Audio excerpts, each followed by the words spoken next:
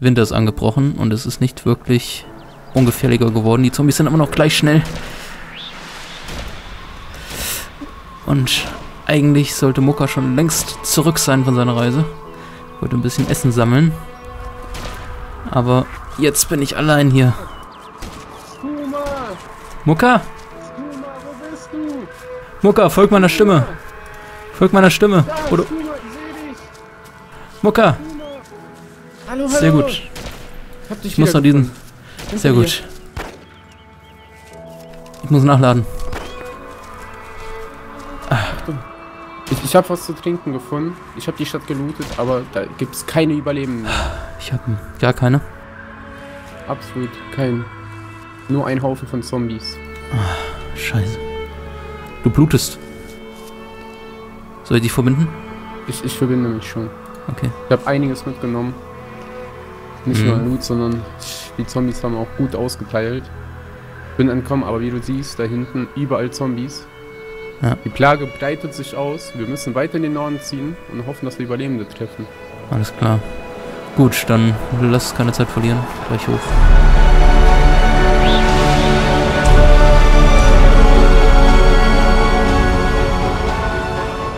Ja, willkommen zu Daisy Epoch. Ähm, wir spielen auf einem Server, wo man ziemlich coole Einstellungen so machen kann. Äh, zum Beispiel kann man hier Schnee einstellen, wie ihr seht. Äh, Finde ich auf jeden Fall sehr cool. Wir gucken uns den Server jetzt mal an. Äh, und wenn uns der weiterhin gefällt, also bis jetzt finden wir ihn super, äh, wenn uns weiter gefällt, spielen wir auch mit diesen Einstellungen weiter und äh, setzen uns hier so ein bisschen nieder. Ne? Genau.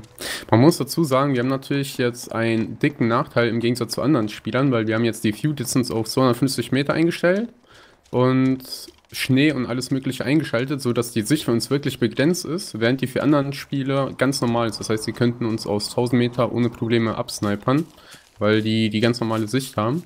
Genau, aber wir sehen es ein bisschen so als Challenge, sag ich mal. Das Genau, macht es ein bisschen spannender und Und, ja. und das fühlt sich einfach wie ein komplett neues Spiel an. ist so, ist so, ohne Scheiß. Einfach, wir haben das angestellt und wir waren einfach von Socken, weil es ist einfach so geil. Ich habe die View Distance übrigens auf äh, 500. Das kann ich nochmal runterstellen. So, 250, so sieht's dann. Alter. Brutal. Genau. Das ist geil. Okay, so lasse ich's. Es, es gibt sozusagen verschiedene Filter, die man einstellen kann. Wir haben drei Stück gemacht. Wir haben einmal die View Distance auf 250 Meter gemacht. Wir haben äh, den Schnee eingeschaltet und die Soundgeräusche, die ab und zu kommen. Und wir haben das Ganze noch ein bisschen dunkler gestellt. Also man sieht Genau. schon, es ist ein bisschen mehr auf Black and White Modus. Man könnte jetzt noch am Kontrast und der Brightness rumstellen, fällt mir gerade ein. Wir können das ja mal kurz probieren. Oder muss man schnell hinter dir gucken, wie geil das aussieht mit diesem Filtermodus. Die zwei Zombies da. Ohne Scheiß. Man sieht da hinten einfach nur noch von irgendwelchen Strommästen so die Spitzen. Das sieht einfach Ja, nur episch aus. ja, ja. Ich mache jetzt nochmal auf 500 View Distance. Es ist halt schon ein bisschen cooler, weil da nicht alles so auf einmal aufploppt, weißt du? Genau. Ich glaube, auf 500 lasse ich's. Ich würde 250 meinen. Das ist dann natürlich schwieriger, weil wir halt die Leute wahrscheinlich erst sehen, wenn die schon neben uns sind, aber ich, ich finde das einfach, das sieht so genial aus. Ja, eigentlich hast du recht. Ja. Und es macht es auch schwerer, sich äh, zurechtzufinden, weißt du? Weil wir kennen die Map ja halt schon ziemlich gut und das macht es halt nur zu extra Challenge. Aber ich sehe das halt gerne. Ich will halt mal wieder was Neues, beziehungsweise mehr Herausforderungen in Daisy haben. Und Daisy Epoch halt mit dieser Herausforderung ist halt echt richtig geil. Ja, und unsere Aufgabe ähm, ist jetzt erstmal am besten ein Fahrzeug finden, beziehungsweise hier gibt es auch die Funktion, äh, wo bist du gerade? Ich hab dich wieder da, ich bin vor dir. Da. Äh, es gibt ja hier auch die Funktion Action-Menü und Deploy Bike, Motorcycle und Gyrocopter. Das heißt, wir können jetzt auch mit einem Fahrrad hier rumfahren. Äh, für Motorcycle bräuchten wir eine Toolbox und eine Engine, dann könnten wir das aufbauen. Und für einen Gyrocopter eine Engine, Toolbox, Scrap Metal und noch ein paar andere Sachen. Äh, Rotor und sowas. Äh, also das ist ziemlich cool an sich, weil es das relativ einfach für den Start macht. Man hat äh, Fahrzeuge, die nicht zu overpowered sind und man braucht trotzdem etwas, um die aufzustellen. Für das Bike zum Beispiel nur die Toolbox. Finde ich auf jeden Fall sehr cool. Äh, wir laufen jetzt noch ein bisschen hier rum, würde ich sagen. Und wenn wir jetzt in nächster Nähe nichts finden, dann können wir uns mal ein Bike machen. genau. Ich würde sagen, wir bleiben erstmal zu Fuß, weil auf dem Bike wollen wir Ja. uns einfach nur verlieren. Erstens das und zweitens sehen wir ja nicht, was vor so uns geil ist. aus. Das Ist sieht so. einfach so geil aus. Ist einfach so. Man kann gar nicht sehen, wie, wie groß der Wald ist. Also wenn man wirklich durch einen Wald durchgehen Ja. würde, man wird sich so schnell verirren. Ja, hier, guck doch mal, in die Richtung hier, durch den Wald durch. Man Ja. sieht's nicht, man sieht's Ende nicht. Lass hier durch. so, Bandits have crashed a chopper. Man kann immer auf der Map gucken. Oh, oh, guck übrigens allgemein mal auf der Map. Woodbury gibt's übrigens auch, das ist die Stadt von The Walking Dead. Haben sie wohl nachgebaut. Äh, ganz viel Stuff gibt's hier. Mil- Military Outpost wäre hier in der Nähe. Wollen wir die mal abchecken? Selenogorsk, genau. Ich wollte sowieso nach Selenogorsk. Das ist der ganz in der Nähe. 1800 Meter. Würde ich Dann sagen, gehen wir sogar hin. Alles klar. Jetzt, guck mal, hier vorne ist eine Stadt vor uns und wir Oh. sehen, das, sieht, das sieht so geil aus. Das sieht einfach so geil aus. Stimmt. Ja. Oh. Richtig geil. Und guck mal, wie die Kirche aus dem Nebel aufpoppt. Ja, ohne Scheiß. Na göttlich. Vielleicht wir ja hier sogar ein Fahrzeug. Was man noch dazu sagen muss, die Leute haben hier wieder einiges gespawnt. Ich habe eine Plotpole gefunden. Okay. Ne, Forest Camonet. Oh. Kommst du noch mit? Weil ich... Oh Gott, Zombie, Zombie, Zombie, Zombie, Zombie. Ja, warte, ich gehe auch gerade mal Pistole am besten oder gar nicht ausschalten. Ähm, nee, lass uns erstmal hier einmal durchlaufen. Hm. Weil wir haben eben einmal geschossen und da kommen schon die nächsten Zombies von links. Ja, das ist hier Zombies sind definitiv ein. An, all, ah, das ist einfach so geil, wie die rennen in dem Nebel und Schnee und wow, geil. Die, die Zombies haben hier lang nichts mehr zu essen bekommen. Die spüren einfach schon förmlich, dass es hier Futter gibt. Ja, Und ich finde das genial. Weil das Ja. ist dann wieder wieder ein bisschen Daisy. Das ist nicht mehr dieses PvP, sondern das hat wieder was mit Survival zu tun. richtig, ja. Vor allem, weil wir halt auch weniger sehen, ne? Auf jeden Fall. Also ich speichere mir auf jeden Fall den Server ab. Ja, ich auch. Ich habe jetzt noch ein Camo-Netzblatt gefunden. Dann können wir mal testen, ob man hier eine Plattpole braucht zum Bauen. Äh, ich glaube nicht, da stand was mit No Plot Pole in der Beschreibung. Glaube ich. Wenn es der Server war, aber ich glaube ja. Moment, ich teste mal eben. Hm. Bild. Missing E-Tool. Okay, man braucht ein E-Tool.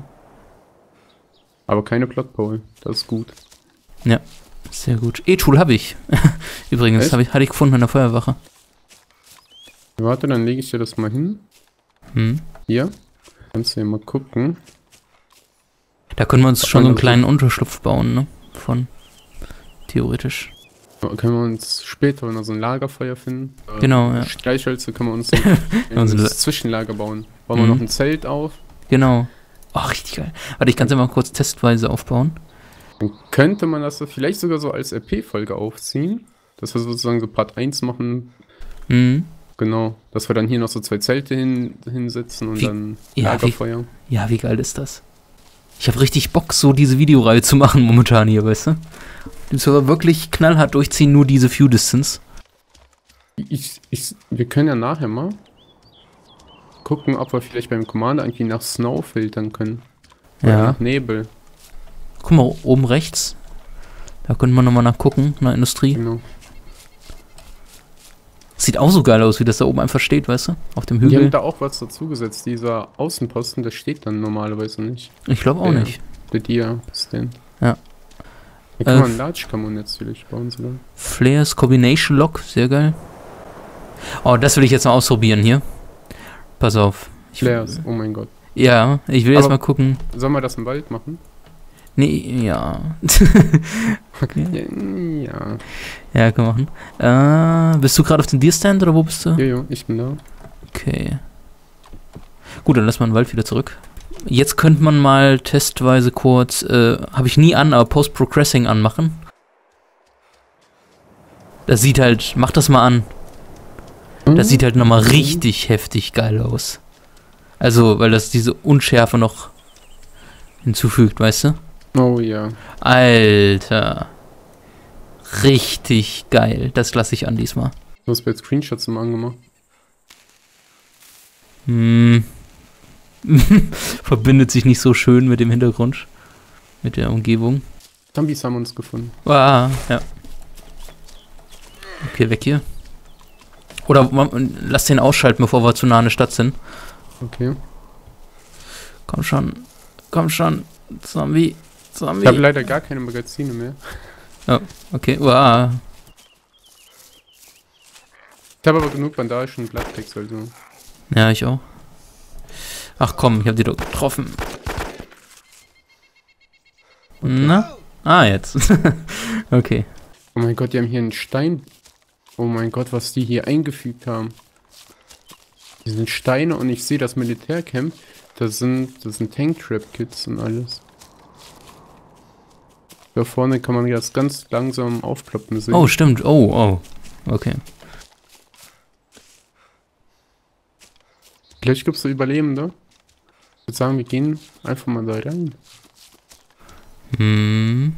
Oh, und das sieht echt extrem groß aus. Ich glaube, das ist nicht mal eine AI-Mission. Das ist einfach nur ein konstantes Objekt, weißt du? ja, ja, das ist ja auch. Die sind konstant. Die AI-Missions, die sind anders eingezeichnet. Hm. Okay. Das sieht richtig geil aus. Ohne Witz. Was, was ist hier los? Wieso ist das so mega geil? Oh Gott, hier sind auch Zombies. Und hier Okay. gibt es Militärloot. Oh ja. Oh mein Gott, wie viel Zelte hier sind. Und hier gibt es ein Lagerfeuer. Okay, ähm. Äh. Okay, äh, hier ist schon mal ein größerer Rucksack, aber wir haben ein Problem mit den Zombies jetzt. Äh, ein großes Problem glaub- mit den Ich glaube, Zombies. wir müssen sch schießen. Ich habe eine AKM gefunden. Okay. Soll ich mit der Pfahl schießen? Die ist halt sch- scheiß laut, ne? Mm, ja, ich würde sagen, wir töten einfach einmal alle Zombies. Oder wir können da mal an die Scheune rennen, dann treffen wir uns da auch mit Wahrscheinlichkeit. Okay. Dann gucke ich, ob ich eine SD-Waffe in der Zeit hier finden würde. Hm. Also ein kleines Problem gibt es. Die Sachen spawnen übereinander. Das aber kann man schnell ändern. In der ersten Badacke ist eine SA58. Und da Mhm. ist auch wieder ein neues Backpack für dich. Okay, Dann, dann okay. nimm das aber zuerst Äh, Ich bräuchte gerade mal kurz Schutz, da kommen Zombies, ich muss mich verbinden. Ah Lauf Gott. durch, lauf durch. Okay.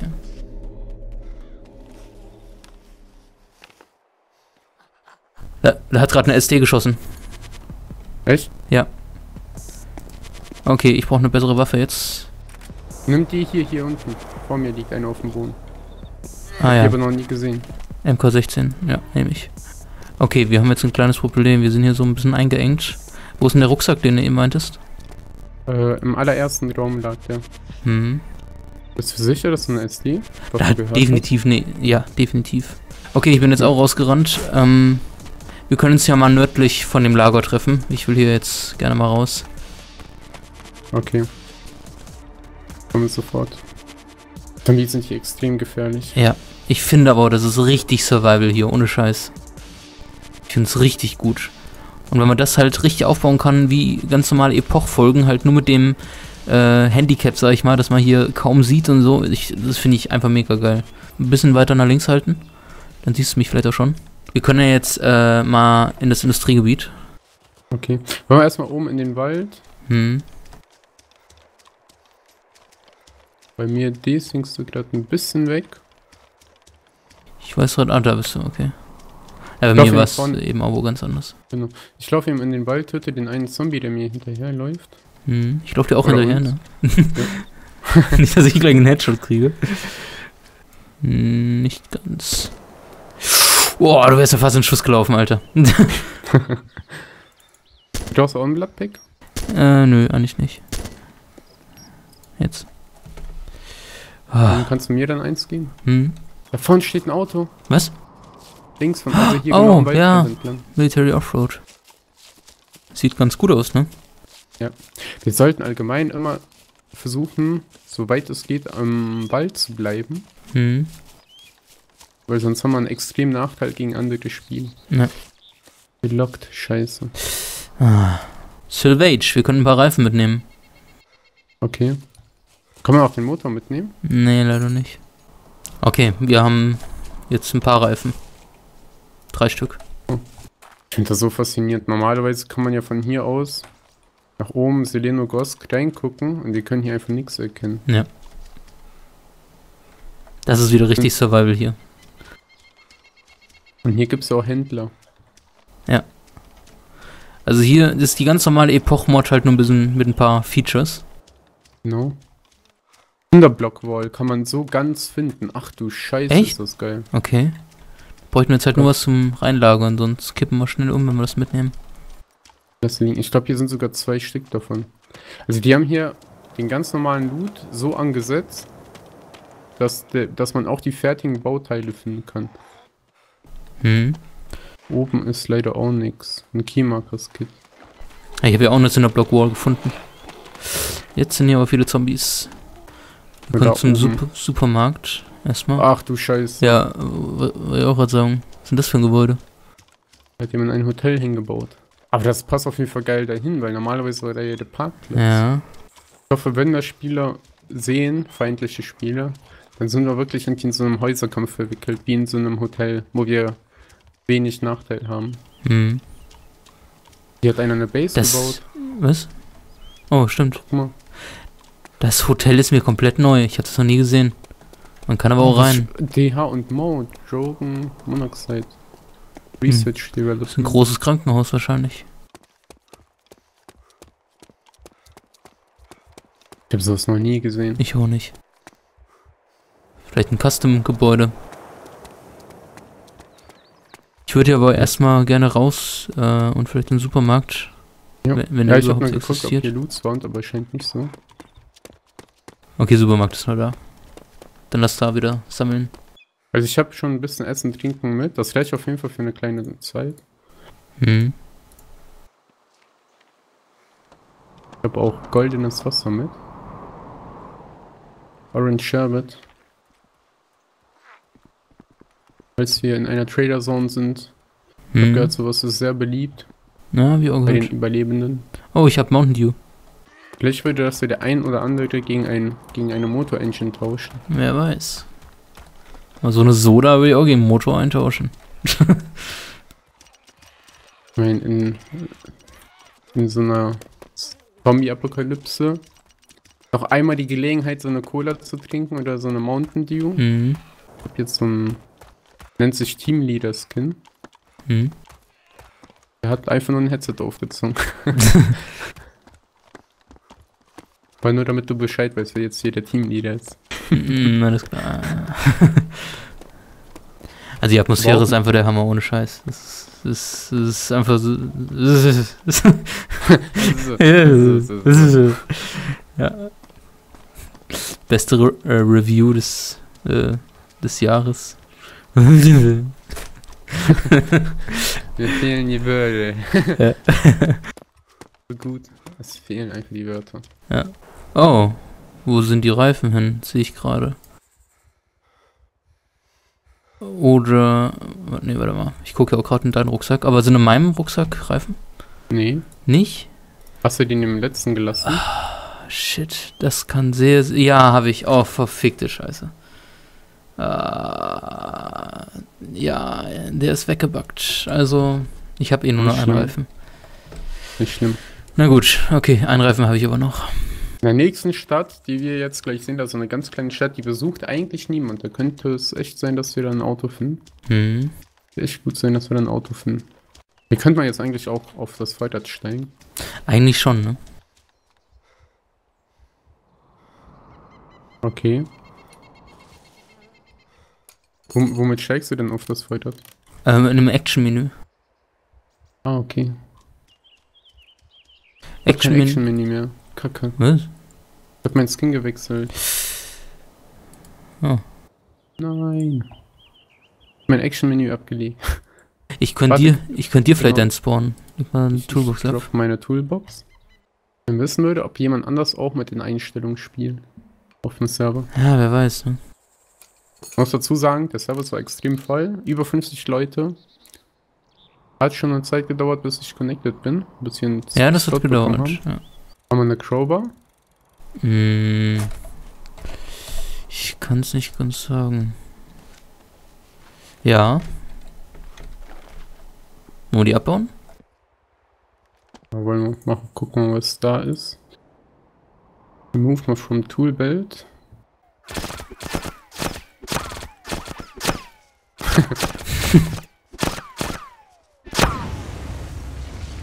Müssen wir die wieder einpacken.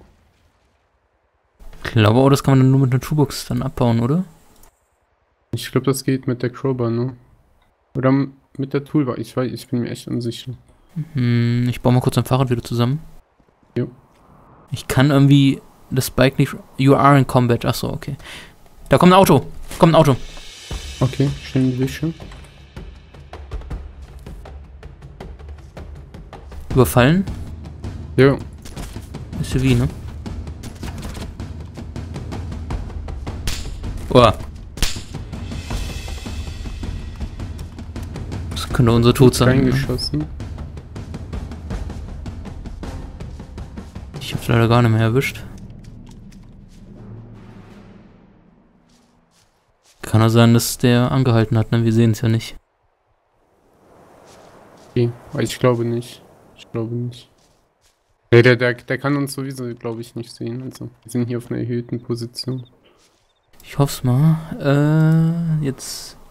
Also, Action-Menü, Action-Menü, Pack Created Vehicle. So. Ja, jetzt kann ich Remove Supply Crate machen. Okay, da haben wir was. Hm. ja, brauchen wir alles nicht. Ist halt Munition für Fahrzeuge. Okay. Ja, habe ich mir schon gedacht, weil das Mhm. ist. Aber wir können hier trotzdem, glaube ich, links hoch in den Wald fahren. Und äh, dann abschenken zu Fuß weiter, oder? Hm. Zu Fuß ist ja immer so ein bisschen epischer.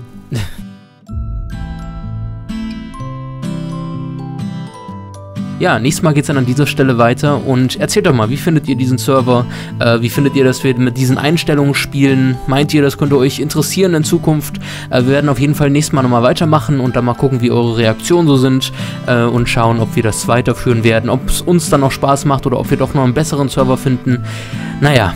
Außerdem, wie findet ihr diese Endcard? Die habe ich heute Abend nochmal gemacht. Ähm, bin ich ziemlich stolz drauf. Ich finde es irgendwie ziemlich geil. Ich bin am überlegen, ob ich da aus ein paar Screenshots, also es, was ihr seht, ist an sich nur ein Screenshot, den ich halt bearbeitet habe, äh, ob ich sowas mal öfters mache und halt so eine Wallpaper-Sache draus mache. So eine bewegte und so weiter. Na gut, das war jetzt ein bisschen ab vom Thema. Von daher würde ich sagen, Dankeschön fürs Zuschauen. Ich würde mich freuen, wenn ihr das nächste Mal wieder einschaltet. Und äh, ja, wenn euch das Video gefallen hat, würde ich mich natürlich wie immer über ein Like freuen. Oder wenn ihr das Video mit euren Freunden auf Facebook oder anderen Plattformen teilt. Oder wenn ihr mir einen Hashtag DaisyEpoch oder DaisyGerman in den Kommentaren hinterlasst, um die Relevanz auf YouTube für dieses Video zu steigern. Das würde auf jeden Fall sehr helfen. Also, haut rein, lasst knacken und bis dahin. Ciao.